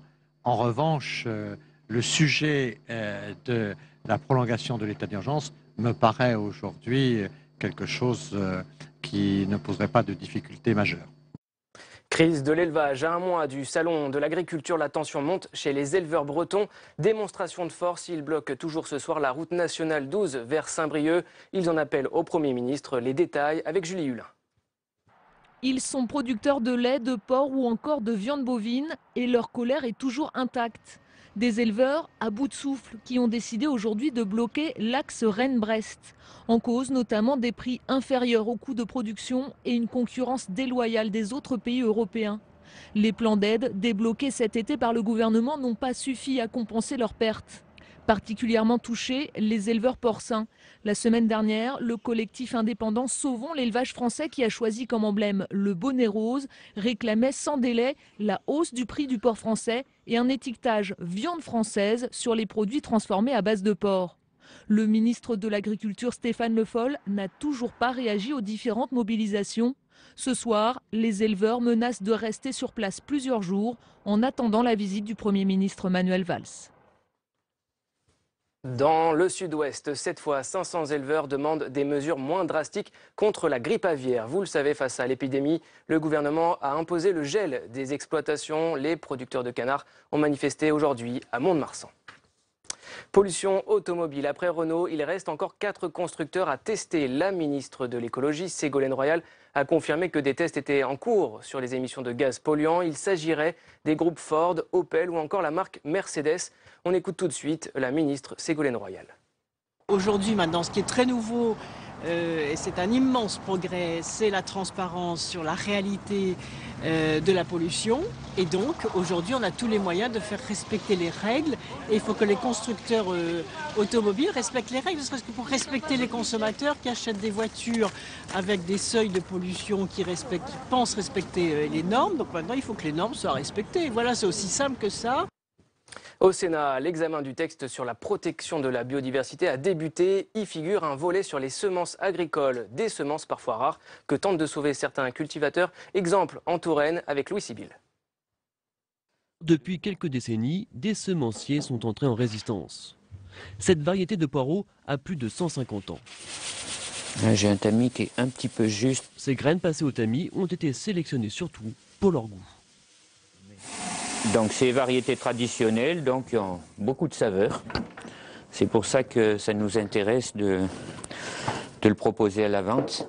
Mais pour vendre des semences, il faut qu'elles soient inscrites dans un catalogue reconnu par une organisation internationale. Or, les variétés sont avant tout sélectionnées sur des critères propres à la grande distribution, des produits uniformes pour pouvoir être vendus facilement partout. Dans ces étagères, près de 400 variétés, un véritable grenier. Si la plupart sont commercialisables, d'autres sont interdites car elles ne font pas partie du catalogue.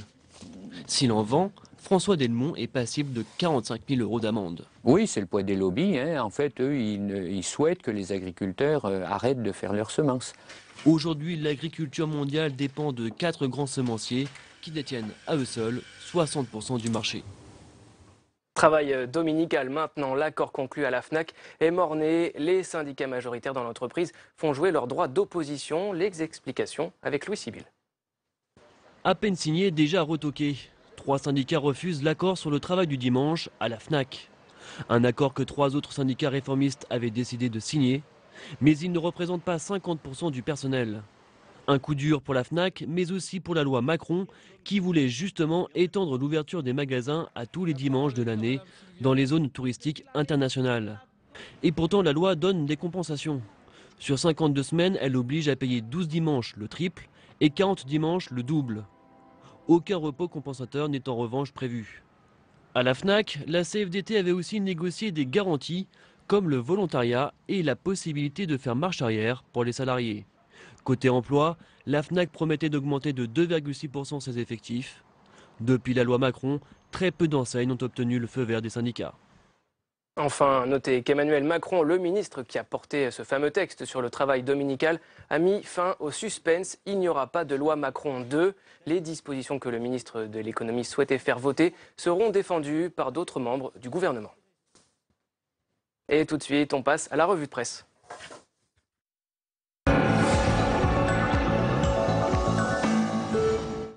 La revue de presse pour découvrir ensemble les unes de vos quotidiens et hebdo. Et on va commencer, Paul, par la croix.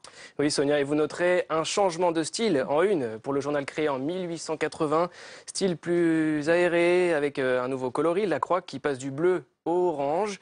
Et regardez donc la photo de une, un petit bébé en train d'être ausculté par un, un docteur. La croix titre Les villes en manque de médecins. Selon le journal, de plus en plus de généralistes partent à la retraite. Ils ne sont pas remplacés à la campagne, mais aussi en ville, souligne le quotidien. On poursuit avec Ouest France. Ouest France qui revient bien sûr sur le coup de colère des éleveurs bretons. La crise agricole couve depuis des mois. Porc, lait, elle touche tous les secteurs, euh, rappelle le journal. Une crise et des manifestations à suivre. Nous sommes à un mois du rendez-vous très politique euh, du Salon de l'agriculture. Euh, L'hebdomadaire L'Obs à présent. Ce titre, Nos amis saoudiens, et cette photo en une, François Hollande parmi ses alliés d'Arabie saoudite. Révélation sur un allié très encombrant, dit le magazine. Après Sarkozy, le Qatari, François d'Arabie, poursuit euh, l'Obs. Le chef de l'État a noué un, un partenariat privilégié avec la famille régnante, une stratégie risquée, un pari déçu, selon le magazine. Un grand format à lire dans l'Obs. On va finir avec un, un bimestriel. Une fois n'est pas coutume, c'est manière de voir. Exactement, le supplément du monde diplomatique qui s'intéresse aux religions et à l'emprise de ces religions sur nos sociétés, nos politiques. Dans le contexte actuel, le magazine s'interroge pourquoi les religions, aussi bien le judaïsme, le christianisme, l'islam ou encore d'autres confessions, sont-elles si souvent partie prenante des luttes politiques et des bouleversements sociaux Enquête et analyse dans Manière de voir. Merci beaucoup, Paul. À demain. Demain. Merci à vous. À suivre à présent, c'est l'entretien pour aller plus loin.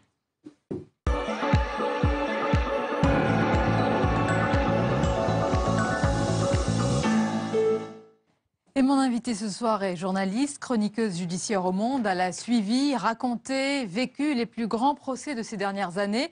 Et elle réussit à chaque fois à capter ces moments où tout bascule dans un procès. Elle réussit à décrire ces visages sur lesquels on lit les tragédies personnelles et humaines. Pascal Robert Diard, bonsoir. Bonsoir. Et bienvenue, c'est un plaisir de vous recevoir. Vous êtes l'auteur de ce livre, La déposition, aux éditions L'Iconoclaste, dont on va parler en détail ce soir. Mais d'abord, je le disais dans ma présentation, quand on lit, vos chroniques judiciaires, et j'en suis fan, on a l'impression souvent de sentir l'ambiance, la pesanteur d'une cour d'assises, d'une chambre de tribunal correctionnel. Vous vous attachez à l'affaire autant qu'au au personnage, au visage. C'est très important aussi. Ah, Tout est important dans une cour d'assises. Moi, mon, mon idée, c'est que le lecteur s'installe à côté de moi et vive euh, avec autant de passion que moi ces audiences. Et d'émotion également, l'émotion que l'on retrouve dans une affaire hors norme. Alors cette affaire, elle s'étale sur 37 ans, l'affaire Maurice Agnolet et la disparition d'Agnès Leroux. Riche héritière, c'est un meurtre sans cadavre. On va camper le décor de cette affaire. Mais d'abord, pourquoi avoir choisi, je sais qu'elle est hors norme, mais pourquoi vous, vous avez choisi cette affaire-là en particulier? En fait, je, crois que je ne l'ai pas choisie. Oui, elle s'est presque imposée à moi. C'est-à-dire que euh, j'ai vécu donc ce, troisième procès, euh, j'ai vécu ce, moment d'audience, enfin ce coup de théâtre d'audience absolument exceptionnel qui, voit tout d'un coup un, fils qui a soutenu son père et que j'avais vu soutenir euh, l'innocence de son père venir tout d'un coup l'accuser et dire qu'il avait reçu des confidences de lui et qui, faisait qu'il avait la conviction qu'il était le, meurtrier d'Agnès Leroux.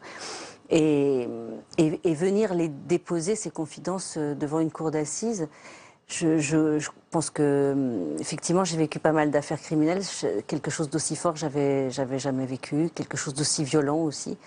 Et, hum, effectivement, j'ai voulu comprendre parce que, euh, parce que je le connaissais parce que je l'avais, parce que je voulais, je sentais une telle, euh, comment dire, une telle force en fait. À un moment donné, comme si quelqu'un, quand je- ça, la déposition porte vraiment bien son son, son nom. C'est, c'est à la fois le terme juridique, hein, c'est le terme juridique réel, et c'était vraiment l'idée que je crois que cet homme, enfin ce fils, est venu, euh, est venu déposer quelque chose. Il est venu déposer un fardeau. Il est venu déposer le fardeau d'un secret de famille. Et j'ai voulu comprendre comment. Qu'est-ce qui s'était passé pour que, pour que ce garçon qui avait soutenu l'innocence de son père, qu'il avait soutenu publiquement aux deux premiers procès que j'avais suivis, est venu tout d'un coup l'accuser euh, au troisième procès? Alors ce fils, Guillaume Agnelet, donc l'a accusé, la vérité a éclaté et il a choisi, c'est très important, la justice hein, pour dire sa vérité. Il n'est pas allé sur un plateau de télévision. Et c'est là où ce garçon est d'autant plus, j'allais dire, euh, courageux. Enfin, ça me touche beaucoup que vous, que vous releviez ça parce que pour moi, c'était. J'aime l'audience. Je, enfin, je crois. Oui, je crois. Je crois en la justice. Je crois dans son fonctionnement. Je crois.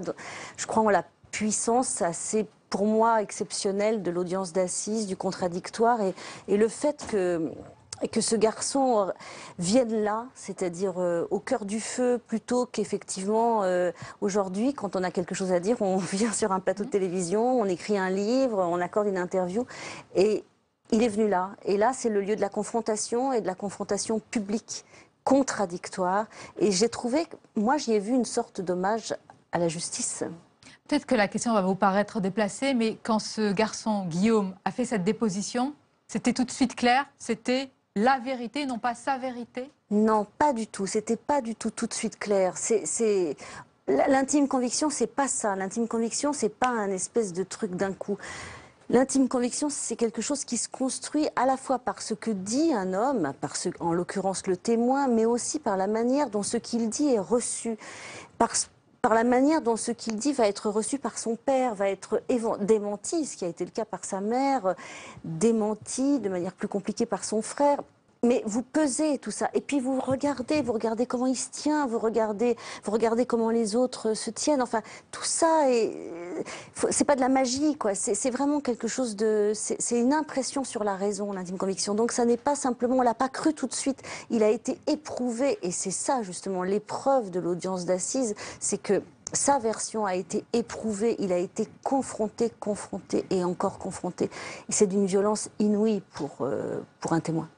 Oui, d'autant plus qu'il a eu à affronter la complicité euh, de sa mère, hein, qui a toujours soutenu Maurice Agnolet. D'ailleurs, toute la famille, parce que ce, ce- ce jeune Guillaume, il, a- il faut se rendre compte du milieu dans lequel il a grandi. Son père, les femmes, les amitiés maçonniques, les mensonges d'une famille factice. Il, y a, il a dû briser tout ça d'un coup. Oui, c'est. Je crois vraiment qu'il ne l'a pas brisé d'un coup. Ça a été un processus très lent, très long. Euh, et à un moment donné, ça a été un processus trop lourd à porter. Je crois qu'il ne, il n'en dormait plus. Il était dépositaire d'un secret. La première fois qu'il a entendu son père lui parler du meurtre d'Agnès Leroux, il avait 14 ans. Euh, il en a 45 aujourd'hui. Quand il est venu déposer devant la cour d'assises, il avait 45 ans. Et voilà, c'est 30 ans de secret de famille qu'il est venu briser. Devant Il y a cette personne qui devient presque un, un personnage romanesque, presque de roman sombre, mais il y a aussi une autre personnalité et il faut en parler parce qu'elle est exceptionnelle à, à plus d'un titre, c'est la mère. C'est la mère euh, Leroux, 92 ans, 13 ans. Elle n'a jamais, jamais, jamais abandonné, mais rien lâché. Je crois qu'en fait, elle est, c'est surtout elle qui depuis. C'est l'affaire. C'est au départ, c'est, René Leroux qui est convaincu de la culpabilité de Maurice Agnolet et qui va renoncer à tout. Je pense d'ailleurs à toute sa vie personnelle. Enfin, je, pense que quand sa fille a disparu, elle a, elle a consacré le reste de sa vie à la quête de sa fille, d'une part, et à la poursuite de celui qu'elle pensait être l'assassin de sa fille. Et c'est grâce à elle que, cette, que la justice a poursuivi, en dépit de, cette affaire date de 1977. Enfin, c'est complètement fou. Et c'est la, volonté de cette mère, l'acharnement de cette mère à, trouver une réponse à la disparition de sa fille, à l'assassinat de sa fille, qui fait qu'un jour, Maurice Agnolet a comparu enfin pour elle devant la cour d'assises, donc en 2006, donc euh, 29 ans, euh, oui c'est ça, après la disparition de sa fille. Et donc cette femme, euh, effectivement, a- je crois qu'elle a, ouais, elle a- c'est- ça a été l'adversaire, ça a été l'adversaire de C'est Maurice ce que dit d'ailleurs Maître Hervé Temim, elle a toujours été la seule euh, à le combattre, presque, même physiquement, Oui, hein, à l'affronter. Moi, je sais le que la première fois, au, au premier procès, quand je les ai vus à Nice, c'était ça. Quoi. Ce qui était le plus impressionnant, la première image que j'avais eue, c'était cet homme qui comparaissait effectivement devant une cour d'assises pour la première fois, donc en 2006, et cette femme, et ils se sont regardés, et ce regard était absolument exceptionnel. Elle avait, un, elle avait des cheveux blancs, c'était une, C'est une espèce grande de- dame. très grande dame. On peut rappeler qu'elle était la directrice d'un grand. Ancien la première. anci- directrice d'un casino, casino. ancien mannequin, et donc euh, très grande dame, comme ça, avec des cheveux blancs, et, et, et- et statut du commandeur, et, et- et lui qui la regardait, il s'était connu, euh, il s'était connu euh, 30 ans plus tôt, 40 ans plus Lui, tôt. avant, euh, grand séducteur, hableur, sachant parler de ça, c'est comme ça d'ailleurs qu'il a, qu'il a séduit la jeune Leroux, qui était une belle femme. Oui, une belle femme, fantasque, originale, qui rêvait de créer un journal, qui, euh, qui n'aimait pas l'argent des casinos dont elle était l'héritière, euh, qui souhaitait s'en affranchir, et qui est devenue euh, en fait la maîtresse de, Maurice Agnolet qu'elle avait choisi comme avocat parce qu'elle souhaitait, elle divorçait à l'époque, et l'avocat qui a aidé à, réaliser ce divorce, c'est celui qui est devenu son amant. On comprend maintenant pourquoi vous avez choisi euh, cette affaire qui, s'imposait. Le titre est formidable, la déposition. On dit souvent, Pascal Robert Liard, que les procès sont quelque part le reflet de notre société. Qu'en pensez-vous? Parce que si c'est le cas, ce reflet, il fait sacrément peur. Oui, je crois qu'en tout cas, ils sont peut-être pas le reflet, en tout cas le reflet, le miroir, le miroir grossissant, c'est sûr. Un, avocat est souvent marqué par l'affaire qu'il défend ou par son client. Mais est-ce que vous aussi, quelque part, vous vivez, dans, vous vivez vous aussi dans ce même huis clos? Est-ce que quand vous rentrez chez vous, vous repensez à l'affaire? Vous repensez parfois aux scènes terribles qui sont décrites? Et si vous le faites, comment vous, vous arrivez à vous en débarrasser après? Je, oui, je les, je les emmène, enfin, je les garde. Euh, Il y en a beaucoup que j'ai effacées, puis il y en a certaines que j'ai gardées. euh. je ne garde pas des affaires, je crois que je garde des moments d'audience, euh, je garde des moments d'humanité, parce que c'est d'abord c'est ça, c'est des moments magnifiques. Moi, j'ai une, jolie petite collection. Vous êtes journaliste, je l'ai rappelé, et observatrice d'un procès. Vous avez aussi votre opinion. Absolument. Euh, quand vous assistez à ce procès, vous pouvez être vous-même révolté par ce qu'on a fait à cette fille. Est-ce que vous vous, vous imposez d'être neutre complètement quand vous racontez quelque chose ou non Vous assumez. J'ai non, un avis, je, je le défends. ouais, non, non, j'ai pas d'avis, c'est pas ça. C'est pas une question d'opinion. Je, je ne suis absolument pas neutre. Je suis au contraire totalement subjective, comme le sont euh, les jurés. Moi, mon, moi, mon, travail, c'est de, c'est de, c'est de raconter comment se fabrique une décision de justice. Donc, à un moment donné, je, quand, quand un témoin est fort, il est fort pour tout le monde. Quand, quand un événement fait basculer l'audience, il le fait basculer pour tout le monde. Et mon travail, enfin, ce, ce que je dois sentir, c'est ce moment-là. Donc, je, je, je dois au contraire être, euh, être le plus ouvert possible, parce que si vous, êtes, si vous ne vous ouvrez pas, vous ne pouvez pas saisir ce moment. La mère qui vient, euh, le frère, euh, le, témoin totalement inattendu qui va faire une déposition qui va, qui va, qui va être considérée comme très forte ou très émouvante ou au contraire très agaçante, je dois la sentir. Et donc, je considère que j'ai juste, si au bout du compte, le lecteur qui m'a suivi n'est pas, n'est pas, quand le verdict arrive, il le comprend. Parce qu'en fait, au fond, j'aurais raté aucun des moments qui a fabriqué l'intime conviction. Quand vous restituez une journée de procès, d'audience, vous restituez les coups de théâtre, parce qu'on aime lire ça aussi, mais il y a aussi des moments où il ne se passe rien, il y a des non-dits. Est-ce que ces moments-là, euh, ces regards aussi, ils sont importants? Est-ce qu'ils nourrissent aussi un, un procès, ils une sont, séance? ils sont fondamentaux. C'est c'est le, le- le journaliste auquel j'ai succédé, enfin le chroniqueur judiciaire euh, du Monde auquel j'ai succédé, Jean-Michel Dumeux, m'avait donné un seul conseil. Il m'avait dit euh, note les silences. Mais aujourd'hui, euh, c'est compliqué parce qu'on live tweet. Mm. Euh, je suppose que vous le faites aussi. Est-ce qu'on live tweet les silences aussi c'est plus compliqué. Est-ce que ça a changé la manière justement décrit. de. Oui. On les décrit, Oui. les silences. Ça a changé cette manière de travailler, euh, la manière d'appréhender les procès? Ça a changé, oui, c'est c'est autre chose. Je pense qu'il y a des. Moi, par exemple, il y a des moments d'audience que j'ai live tweeté. Par exemple, l'attente d'un verdict. L'attente d'un verdict, c'est un moment très très particulier. C'est-à-dire que vous, vous, entrez dans la salle d'audience, euh, euh, voilà, le verdict va être rendu, euh, l'accusé est parfois libre et vous savez que dans cinq minutes, vraisemblablement, il va partir en prison ou même il est déjà détenu et de toute façon, vous allez entendre une condamnation à 20 ans, à 15 ans. Enfin, c'est pas rien d'entendre euh, le moment où une cour d'assises annonce un acquittement ou annonce qu'un homme est condamné à 20 ans de prison. C'est cet instant-là, euh, bon, c'est pas rien. Voilà, le type a beau être euh, considéré comme un criminel, comme voilà, c'est pas rien. Et, le moment, le silence qui, précède euh, l'entrée de la cour, le moment où on va attendre euh, l'arrivée des jurés, la manière dont ils vont regarder, enfin, ce que racontent très bien les avocats, quoi, la manière dont ils vont regarder ou pas l'accusé, ou de quel côté ils vont regarder, est-ce qu'ils assument leur décision, est-ce qu'ils sont comme ça, etc. Ça, par exemple, c'est des choses que j'avais pas écrites et que j'ai live tweeté. J'ai live tweeté des procès très drôles parce qu'ils étaient légers. Euh, en revanche, j'ai live tweeté à l'époque l'instant d'audience Et comme des Guillaume procès Manuel- très voilà. médiatiques, Ah, politiques, de ouais. Strauss-Kahn Mm, et ouais, d'autres. ouais. Bah, C'était plus compliqué à live tweeter. Beaucoup plus compliqué. Et d'où vous est venue cette idée, de, cette envie de raconter tout cela? Je crois que vous aviez assisté à votre première expérience euh, d'un procès. C'est pas n'importe quel procès. Mais c'est Barbie. Klaus Barbie. Ouais, c'est très vieux. J'étais- stagiaire au Monde. et stagiaire, vous aviez accompagné un et J'ai grand- accompagné Jean-Marc Théolaire, qui, est le- qui a été le très très grand très chroniqueur grand. judiciaire C'est à ce moment-là que vous avez dit, euh, Qu'elle le faire d'ailleurs. Ouais. Tout de suite. Tout de suite. Toute une vie pour Mm. ça. Ah non, je me suis, ouais, j'ai longtemps été journaliste politique, j'ai énormément aimé la politique, mais ce jour-là, je me suis dit, ouais, je, je ferai ça. Euh, Vous entrez toujours dans un procès avec la même envie intacte de raconter euh, ce qui se passe C'est toujours la même curiosité je, je mentirais en disant oui. En revanche, je, je crois qu'aujourd'hui, j'entre pas avec la même curiosité, mais je- j'entre avec la même attente. C'est-à-dire que c'est comme une espèce de dose. J'attends le moment où ça va être bien. Alors, il y a des moments rares. Il y a des procès rares où ça n'arrive pas. Par exemple, la semaine dernière, j'étais à Bobigny. Le procès de ce policier qui voilà, était poursuivi pour avoir tiré sur un, sur un, un fuyard qui était par ailleurs un multirécidiviste, etc.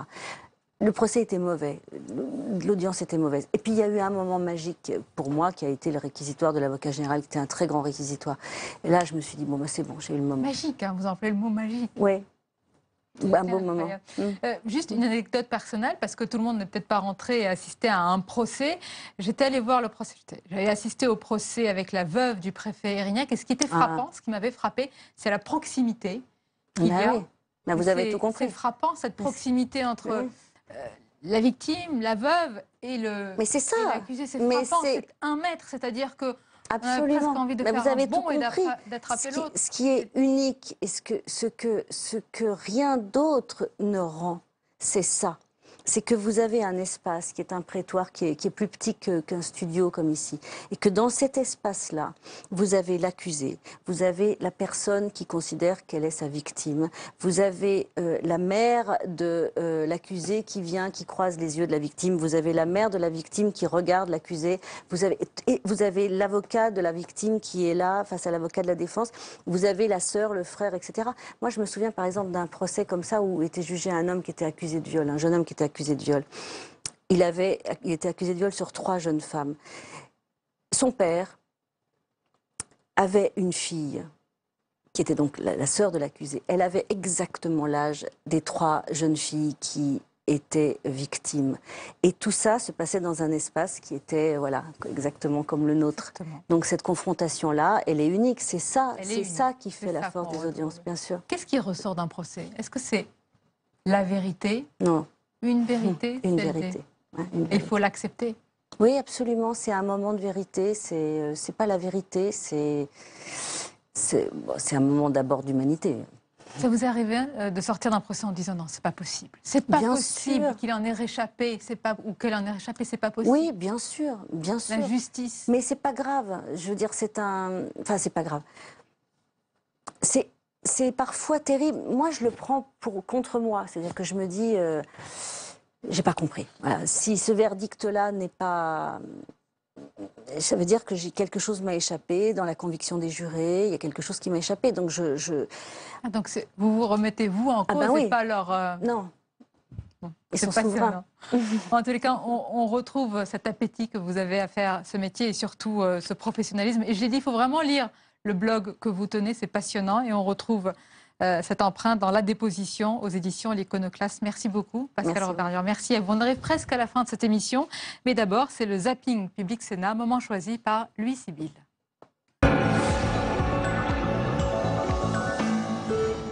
Mais sur l'idée du retour en politique, est-ce que les choses. Français ne se lassent Deux- pas deux, deux choses. La première, euh, euh, il y a évidemment, euh, pour euh, ce niveau de compétition, besoin euh, d'hommes ou de femmes expérimentés.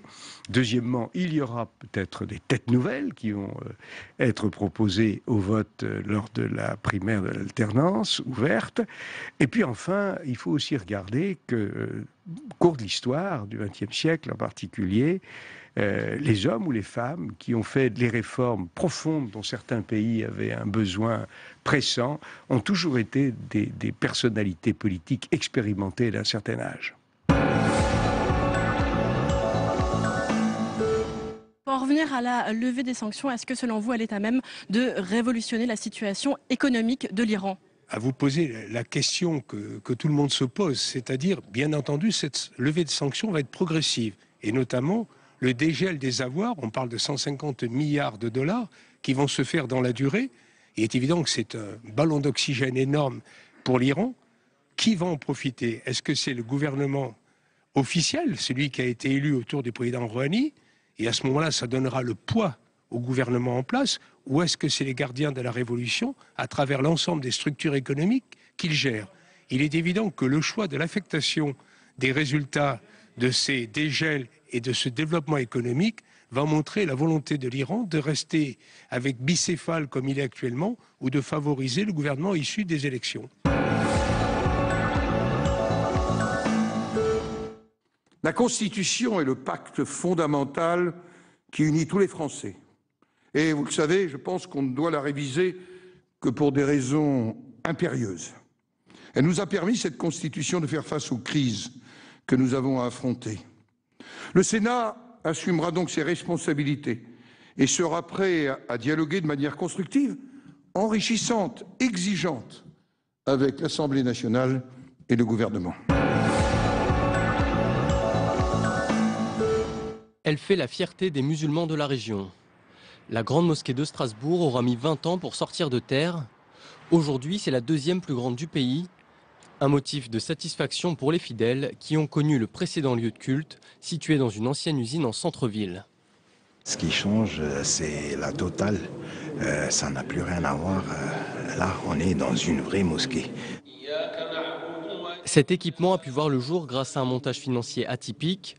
Sur les 12 millions d'euros nécessaires, un tiers a été apporté par des dons de fidèles, un tiers par le Maroc et le dernier par l'Arabie saoudite, le Koweït et des fonds publics.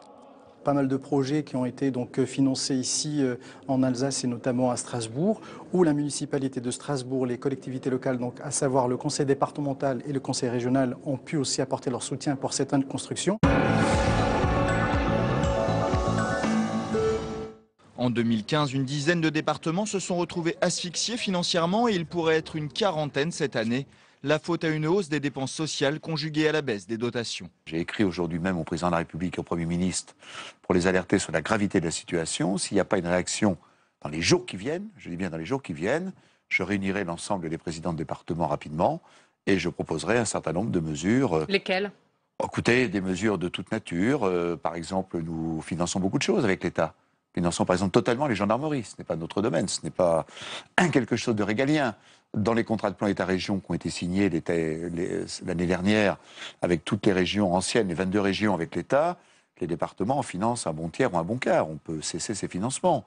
Euh, nous pouvons demander aussi aux allocataires du RSA de s'inscrire tous à Pôle emploi. Et là, à ce moment-là, je peux vous dire que les statistiques euh, sur le chômage que le président de la République souhaite améliorer, euh, euh, ça sera une Vous en cause faites impossible. Et on arrive à la fin de cette émission. Merci de votre fidélité. Rendez-vous bien sûr demain. C'est Territoire d'info et je vous retrouve avec plaisir à 22h, 1h30 de débat, décryptage et entretien. Belle et douce fin de soirée en notre compagnie.